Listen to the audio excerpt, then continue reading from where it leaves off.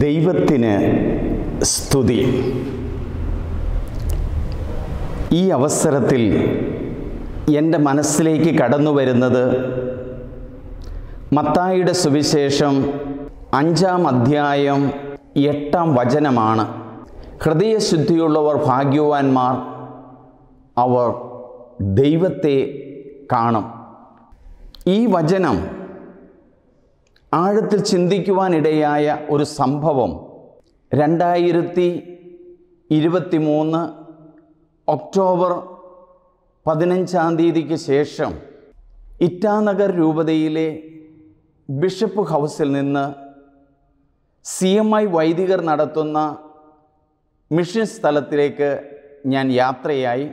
രണ്ട് ദിവസത്തോളമുള്ള വളരെ വിഷമം നിറഞ്ഞ ഒരു യാത്രയിൽ എത്തിച്ചേർന്നത് ടൂറ്റിംഗ് എന്ന് പറയുന്ന പ്രദേശത്താണ്. ഈ ടൂറ്റിംഗ് എന്ന് പറയുന്ന ഈ ഗ്രാമം വരുന്നത് അപ്പർ സിയാങ് ഡിസ്ട്രിക്റ്റിലാണ്.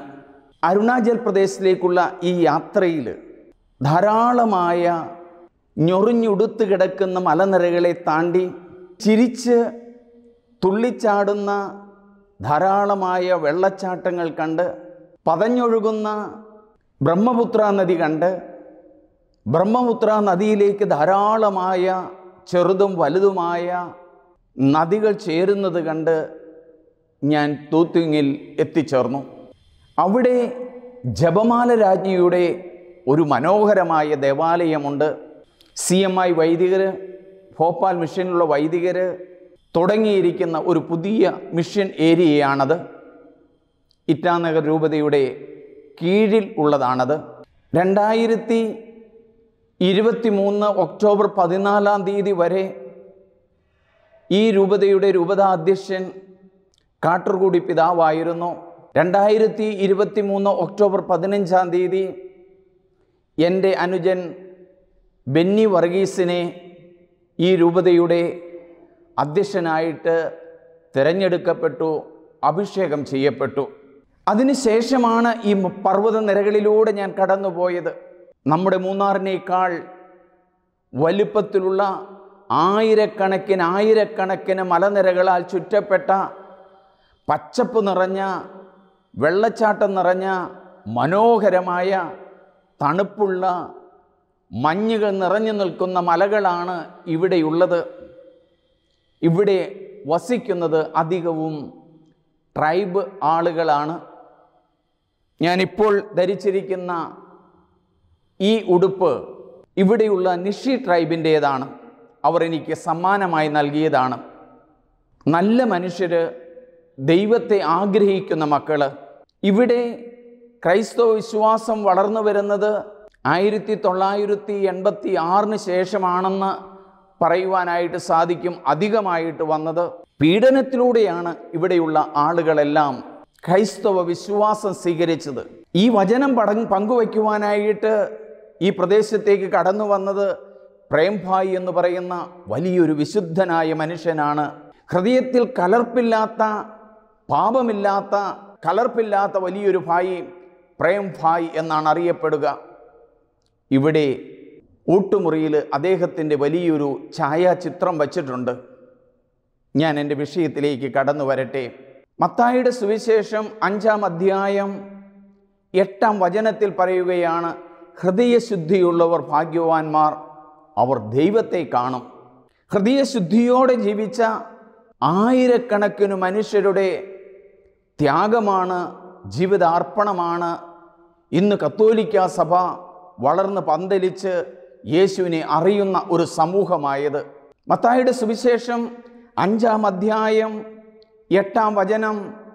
ഹൃദയശുദ്ധിയുള്ളവർ ഭാഗ്യവാന്മാർ.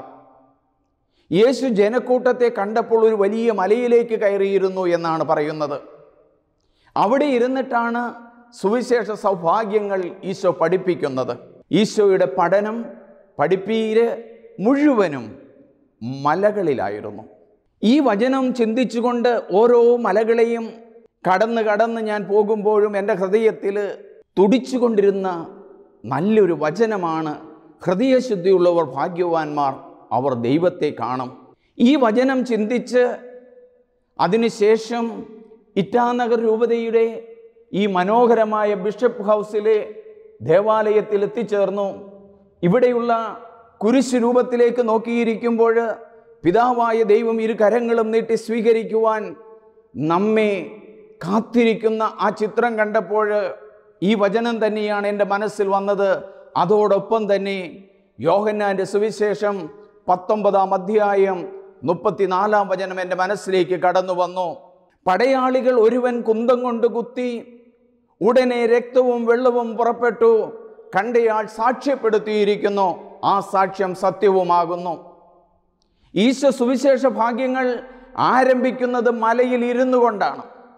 എന്നാൽ യേശുവിന്റെ ജീവിതം അവസാനിക്കുന്നത് ഗാഗുൽത്താ മലയിലാണ്. ആ ഗാഗുൽത്താ മലയിൽ തന്റെ ഹൃദയമാണ് യേശു തുറക്കുന്നത്. ആ ഹൃദയം തുറന്നുകൊണ്ട് അവിടെ നിന്ന് രക്തവും വെള്ളവും ഒഴുകി സീലോ മലബാർ കുർബാനയിൽ കാസയിലേക്ക് തിരുരക്തമാകേണ്ട വീഞ്ഞൊഴിക്കുമ്പോൾ തുടർന്ന് വൈദികൻ രണ്ട് തുള്ളി വെള്ളം അതിലേക്ക് ചേർക്കുമ്പോൾ ചൊല്ലുന്ന പ്രാർത്ഥനയാണ് പടയാളികൾ ഒരുവൻ കുന്തം കൊണ്ട് കുത്തി ഉടനെ രക്തവും വെള്ളവും പുറപ്പെട്ടു. കണ്ടയാൾ സാക്ഷ്യപ്പെടുത്തിയിരിക്കുന്നു. ആ സാക്ഷ്യം സത്യവുമാകുന്നു. പടയാളികൾ ഒരുവൻ കുന്തം കൊണ്ട് കുത്തി ഉടനെ രക്തവും വെള്ളവും പുറപ്പെട്ടു.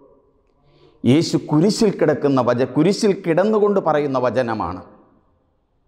അവിടെ ഗാഗുൽത്താ മലയാണ്.